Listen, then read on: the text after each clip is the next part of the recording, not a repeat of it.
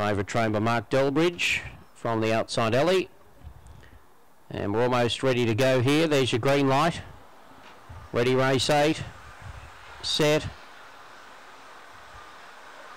Racing, Wanna Ellen came out okay. Showing good pace was Winlock Dino. Going up on the outside, the favourite, Wanna Ellen, and then for the back was great success. And around the outer, Tyson's a rebel with graphic print.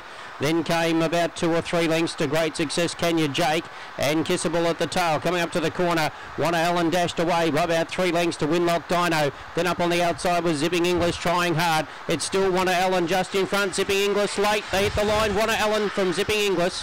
Then Winlock Dino for the back was Tyson's a Rebel. Then Graphic Print for the back, Kissable, great success. Kenya Jake and the runners 25.90.